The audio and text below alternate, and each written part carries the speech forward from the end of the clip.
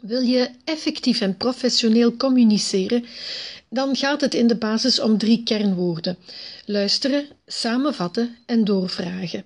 Kortweg de LSD-formule. Luisteren doe je niet alleen met je oren, maar met je hele lichaam. Door je lichaamshouding laat je zien dat je geïnteresseerd bent in wat je zegt. Een goede luisteraar let aandachtig op de houding, de gebarentaal en de gezichtsexpressie van de klant. Wat zegt hij letterlijk en hoe zegt hij dat? Als je klant klaar is met zijn verhaal, dan vat jij samen met je eigen woorden. Zo check je of je de boodschap goed begrepen hebt. Als dat niet het geval is, dan geef je de ander toch de gelegenheid om jou te corrigeren.